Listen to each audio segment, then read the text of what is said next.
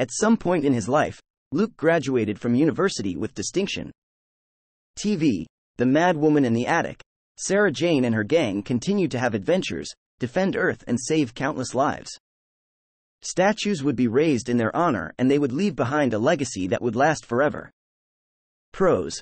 The Wedding of Sarah Jane Smith, TV, The Man Who Never Was, at least five years before her death.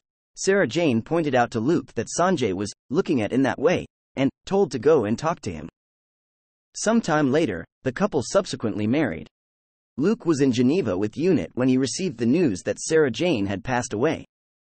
He attended her memorial on a bright, cold spring day, where he discussed Sarah Jane with other guests, even receiving a hug from Kate Stewart, and helped fight the jackals of the backwards clock to foil the trickster's revenge plot. After the service, Luke, Clyde, and Rani journeyed back the 13 Bannerman Road to honor Sarah Jane's request to close down her house. After closing down the attic, Luke returned to his equations. WC, farewell, Sarah Jane. In 2022, Luke, Clyde, Martha and Jo all vanished. Audio. Hysteria. Due to a psychic virus infecting the 13th Doctor and targeting people who had had contact with her. The Doctor and Cleo Proctor eventually restored the disappeared.